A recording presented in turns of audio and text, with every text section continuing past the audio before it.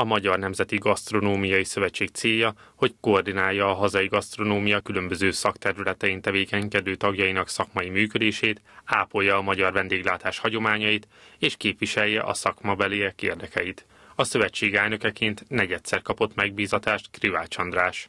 Az újra választott elnök úgy látja, a Gasztronómiai Szövetség élén eltöltött 8 éve alatt a magyar gasztronómia jelentős lépéseket tett előre tíz évvel ezelőtt egy betárcsázós internetünk volt, amit vártunk, hogy vagy ad a modem jelet, vagy nem.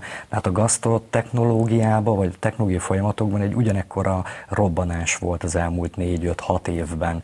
És a kollégák nagyon jól fordultak, nagyon jól vették ezeket az akadályokat, és a magyar konyha is kezdje megtalálni azt a helyét a 21. század gasztronómiájába, amelyet el kell, hogy majd foglaljon. Én nem azt mondom, mi vagyunk a legjobbak, de törekszünk arra, hogy elfoglaljuk méltó helyünket picika országként, de minden meghatározóbb szerepet szeretnénk ebből kicsípni a Európa térképén. Privács András elmondta, arra bíztatják a gasztronómiai szakembereket, hogy ne menjenek külföldre dolgozni, de ha mégis így tennének, akkor adják át az ott megszerzett tapasztalatokat az itthon maradt kollégáiknak. Hozzátette, a gasztronómia fejlődésében megyénknek is fontos szerepe van. Sokkal-sokkal több olyan dologhoz tudunk hozzányúlni, akár egy 40-50 kilométeres eh, sugarú körben, hogyha itt a Mangalicára visszatekintek, vagy a tanyasi csirkére, vagy éppen a kecske sajtra, a tejre, a kiváló tejre, a zöldségekre, gyümölcsökre, és ki kell sétálnunk a kertbe, vagy ki kell sétálnunk egy nagyon jó mezőgazdászhoz, meg kell vele beszélnünk, hogy mit szeretnénk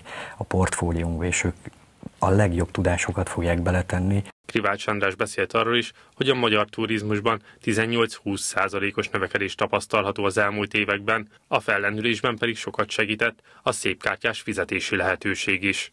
A Magyar Nemzeti Gasztronómiai Szövetség a közeljövőben videoblogot indít a szakmabelieknek, hogy minél többen hozzájuthassanak a fejlődéshez szükséges oktatási anyagokhoz.